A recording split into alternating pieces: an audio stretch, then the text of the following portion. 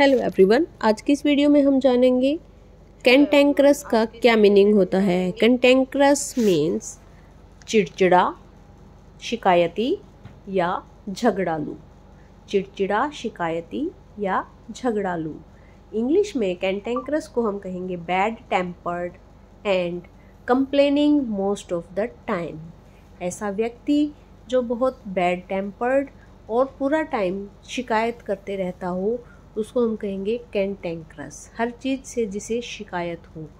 जैसे इसके सिनोनिम्स देखें बैड टेम्पर्ड इरिटेबल ग्रम्पी वहीं इसके एंटोनिम्स होंगे गुड नेचर्ड एंड एफेबल यानी कि चिड़चिड़ा, शिकायती और झगड़ालू कैंटेंक्रस होता है और इसके एंटोनिम्स यानी विपरीत आर्थक शब्द हैं गुड नेचर्ड एफेबल यानी कि अच्छे नेचर वाला और affable For example, my grandfather has become a cantankerous old man with age. यानी मेरे दादाजी यानी मेरे फादर बूढ़े होने के साथ साथ चिड़चिड़े और शिकायती या झगड़ालू हो गए हैं